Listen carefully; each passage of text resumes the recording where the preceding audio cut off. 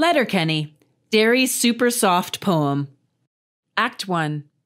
Exterior, hay bale in barn. Day. Wayne is sitting on a hay bale with his dog, Gus, in his arms. You're partaking in a philosophical conversation with your pals the other day. Cut to exterior, the produce stand. Day. The Hicks, Wayne, Dary, Squirrely Dan, and Katy are seated in their respective spots, surrounding the produce stand.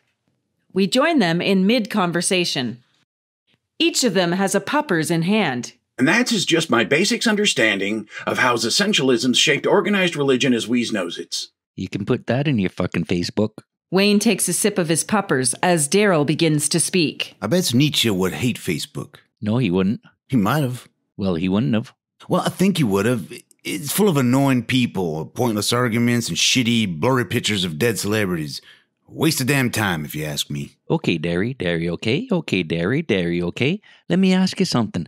What ideology is Frederick Nietzsche the father of? Nihilism. Correct. And what's the basic premise of nihilism there, Dary? Nothing has any purpose. All right.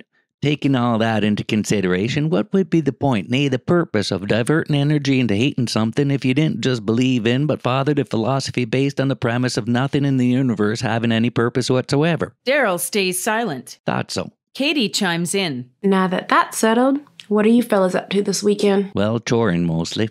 Meetings ups with my women's studies professor, Professor Tricia to. Katy cuts him off. What about you, Dary?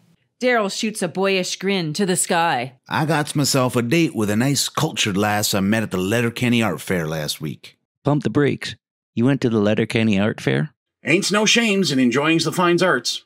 You're Templi, bud. How do you land a date with a cultured lass, Dary? Daryl pauses. Well, I wanted to impress her, so I told her I'm a bit of a poet. Squirrely Dan's eyes widen, Katy frowns, and Wayne's jaw hangs open just enough to let flies in. Uh, what? A poet. There is another pause.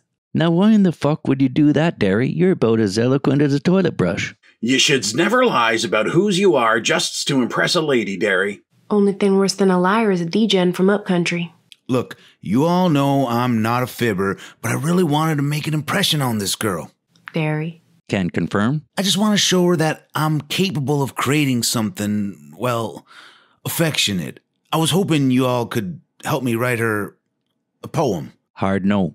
But Wayne cuts him off. No. Now, Waynes, our Dary here dids makes a bits of an oopsies, Wayne mumbles to himself.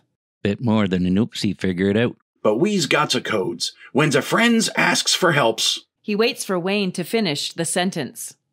Wayne sighs.